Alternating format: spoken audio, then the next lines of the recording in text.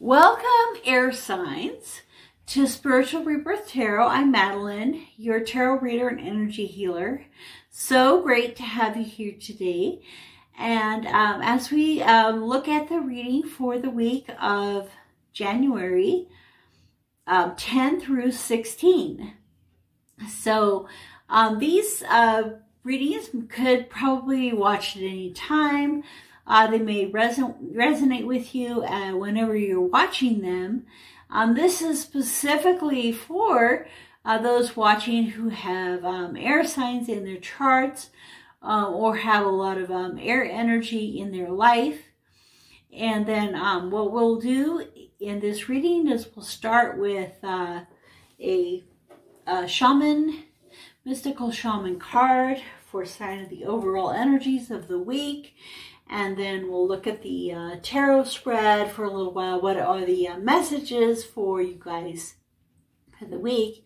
And we'll finish off with a uh, card from Whispers of Love and also from the um, Angel deck for guidance.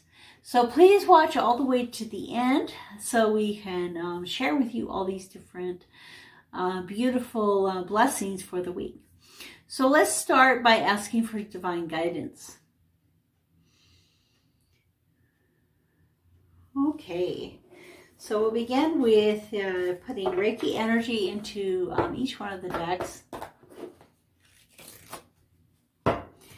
And we draw into a card here.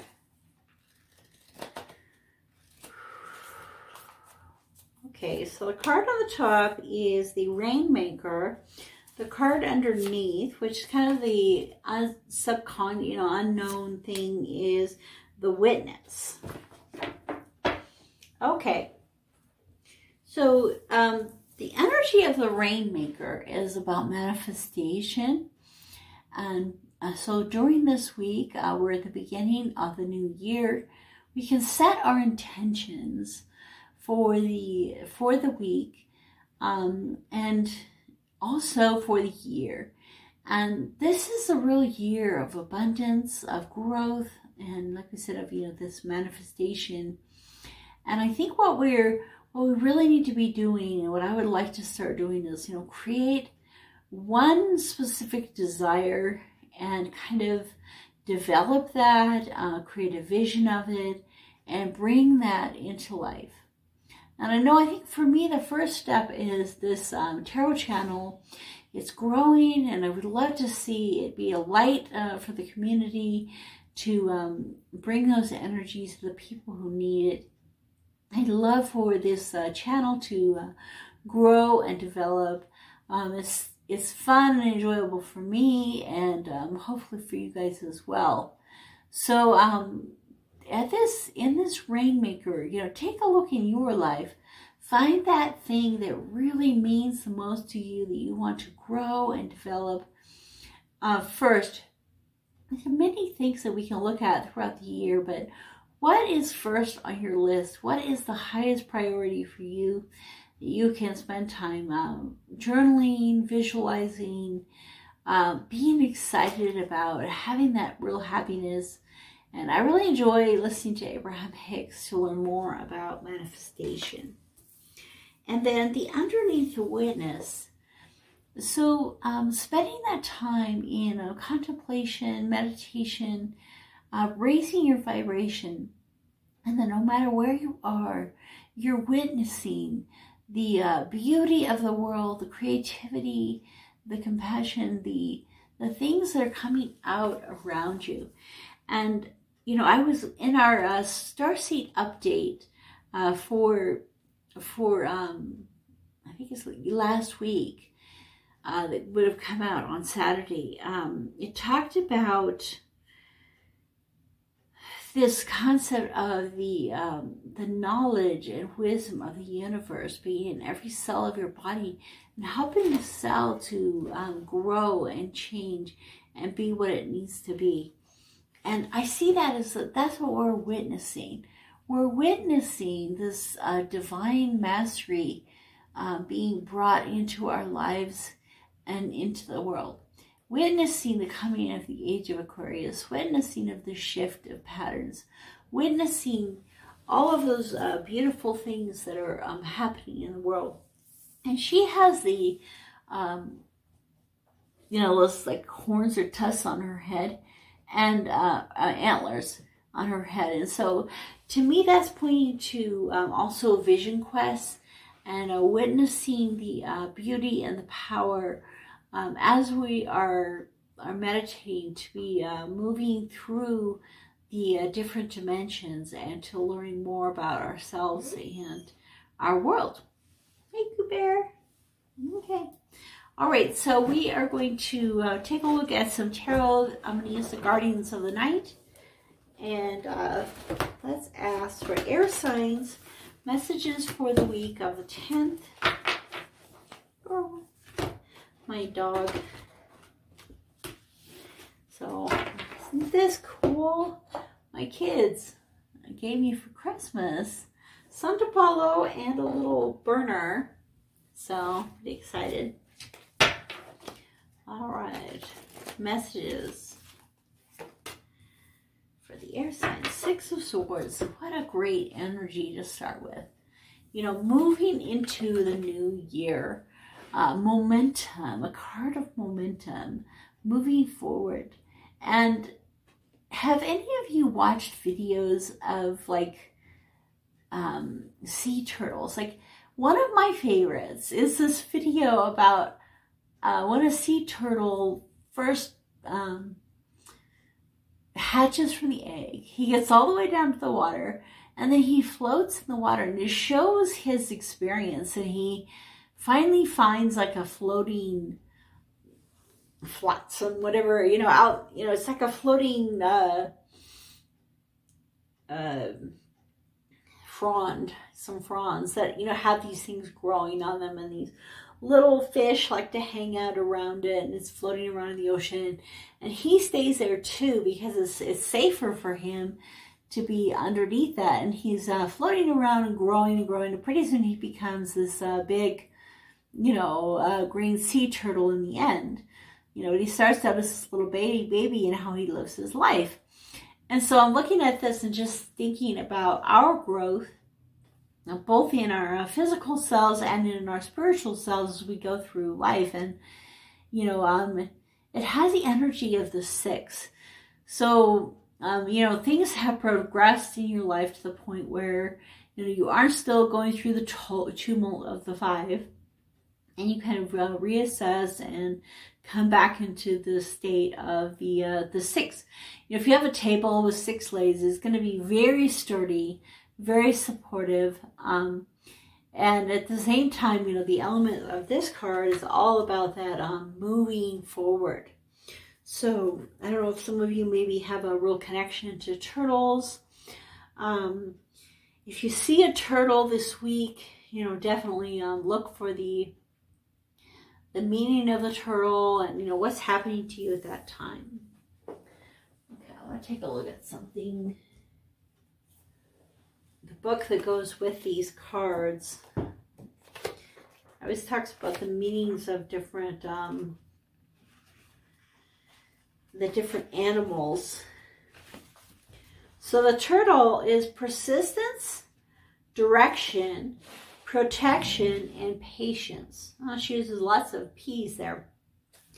So persistence, you know, looking keeping looking for that goal, keep moving toward that goal, but at the same time, knowing that you need patience. And we're talking about the protection, you know, where the uh, the little turtle was kind of like staying in a protective place.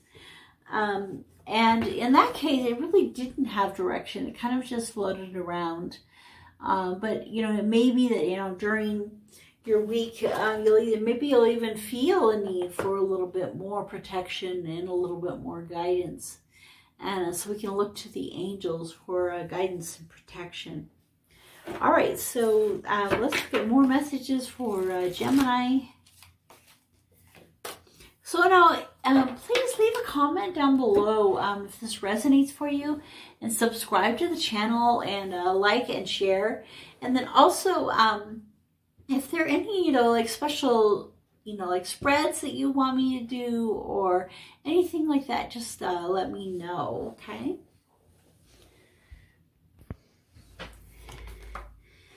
Five of Pentacles.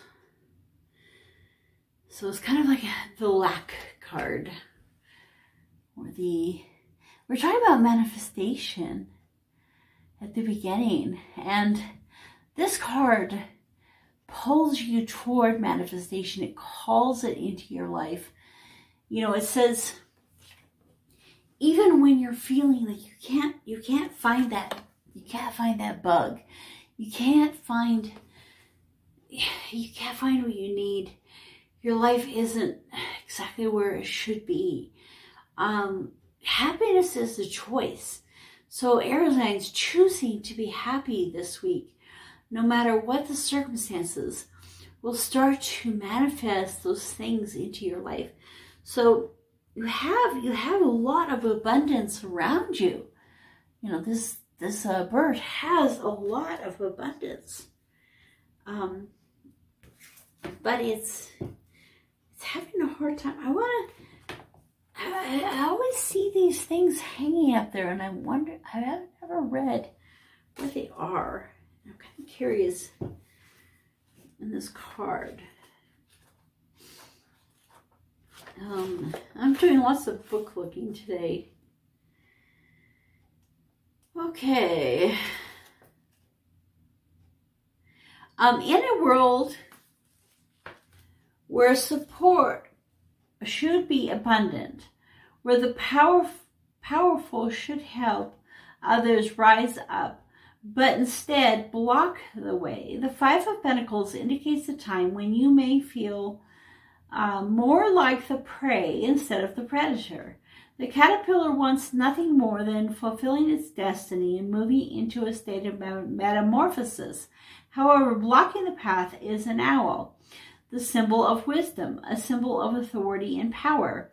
You may be experiencing a time of difficulty when you lack the resources you need to thrive. This energy leads to a downward spiral quickly if left unchecked, one that will have you feeling like an outcast and not accepted. It starts with the loss of a job or income. So, so basically, the caterpillar is all about embracing change. If it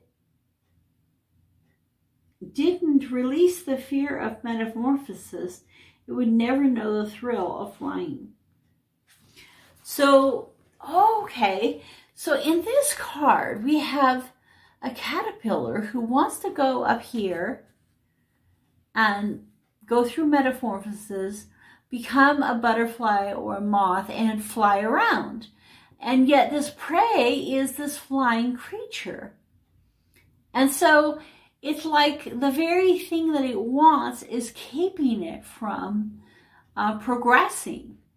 And so sometimes, like with manifestation, I mean, like somebody the other day said, I have trouble with manifestation. It doesn't seem to work for me. And the other person said, don't try so hard. And they kind of took it the wrong way. But the point is, is that the things that block us are the things that we really want. And holding on to what we want, because as long as we say, I want something, we're implying that we don't have it. And so manifestation is about saying, I am, I have. Uh, this is in my existence, and the vibration is there. The energy is in the vortex.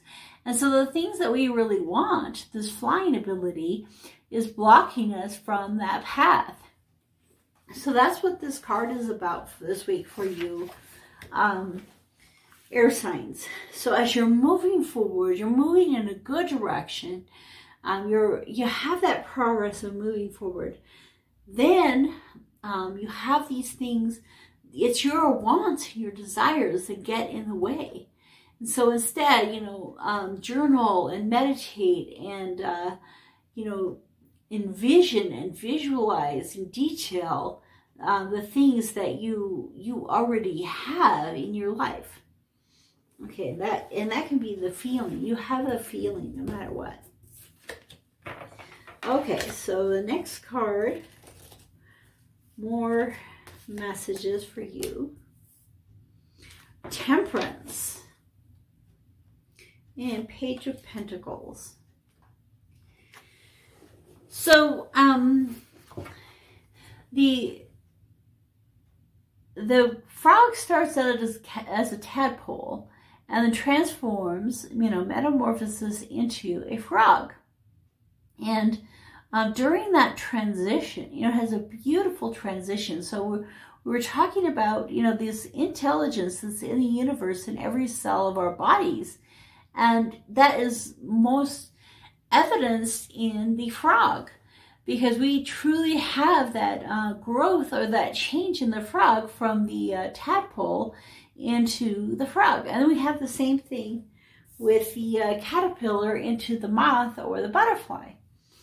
And so as the, um, you know, just as the uh, caterpillar changes into the butterfly, so the tadpole changes into the uh, frog. It's not quite as dramatic. That's kind of nice.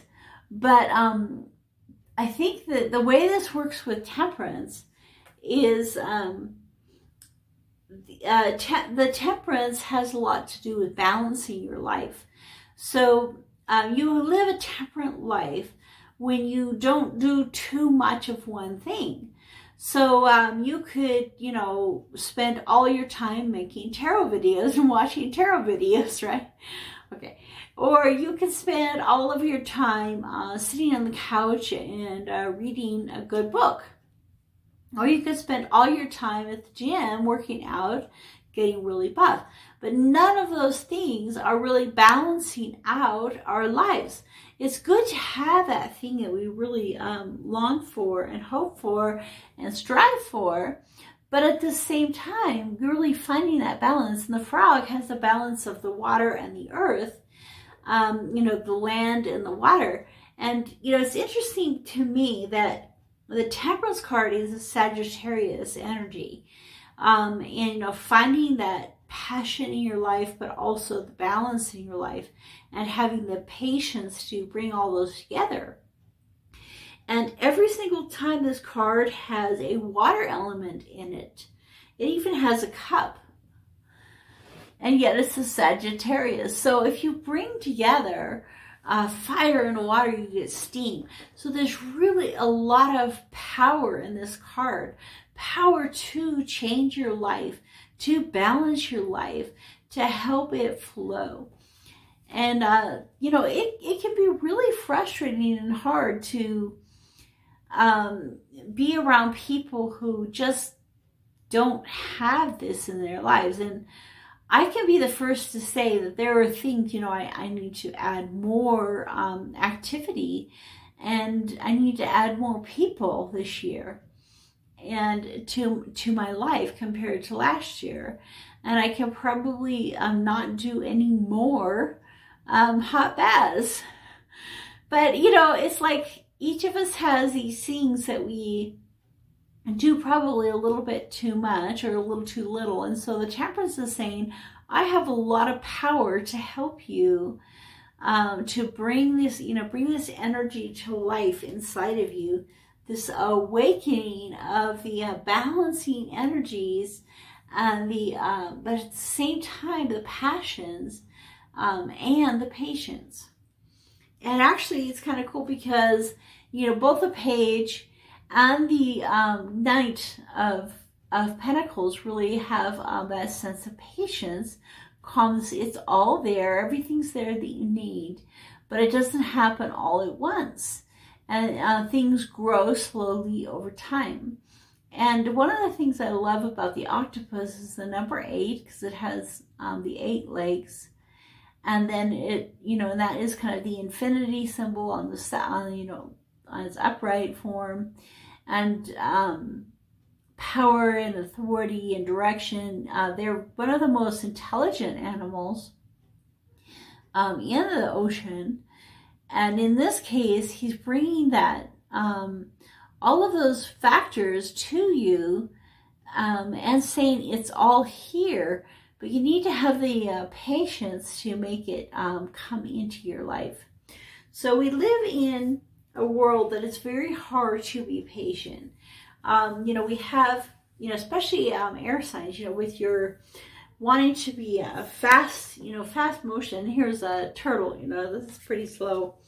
You know, really wanting to have that uh, fast motion, but knowing that um, through this uh, patience and very uh, determined life, uh, you can reach your goals. And I was just thinking about the movements of an octopus, and they they are they're just so slow and deliberate. And uh, so that's what you're being called to this week, Air Signs, is kind of that slow, deliberate movement into a more balanced life, um, accepting what you have right now, not you know, not letting your dreams and desires be your blocks, but instead be that benefit to help you to move forward in the good energies in your life. So as we uh, look at all of these things, we witnessed this, we uh, manifested. These are really great energies to start with. Really went along uh, well with the reading. So I would like to end with the um, the angel card first. So, and then we'll do the uh, love card. So, the angels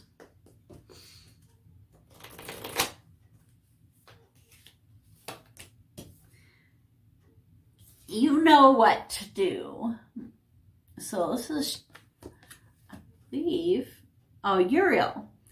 Archangel Uriel, trust your inner knowledge and act upon it without delay.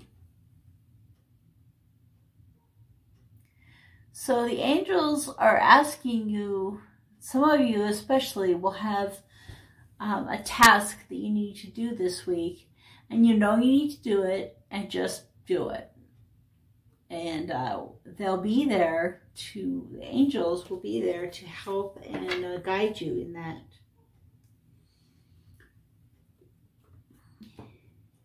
And then the whispers of love